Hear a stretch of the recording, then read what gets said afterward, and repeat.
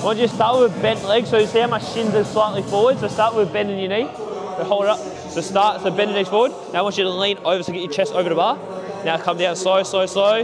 Now up, bring your hips through, that's it. Yeah, so make sure when knees always just slightly bent. Come down more, more, more, more, more. And bang, our hips through, that's it, better, better. That's it, same again. Up, nice, this better. That's it, and slide it down your legs. Almost scrape your legs on the way down, that's it. Nice, close, close, close. Keep the knees bent, knees bent. Losing it a little, it's right, so set up.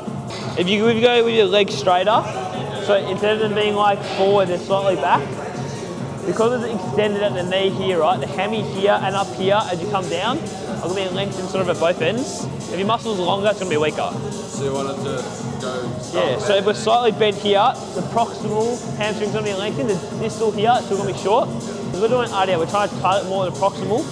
We can, that way we can lift heavier, put more force up here we want to try to target. Yeah, stay with bent knee the whole time and then come down. So as long as this, this shin angle is slightly forward, you should be able to keep that and then get a better like sort of stimulus through here.